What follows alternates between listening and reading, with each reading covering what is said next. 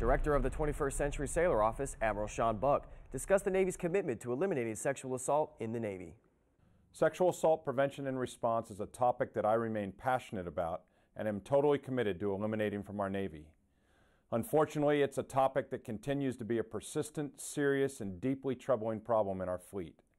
I implore you to read on and look for future blogs where I will share with you our initiatives in place to work toward eradicating this problem and outline our four lines of our SAPR effort prevention, victim response, investigation, and accountability.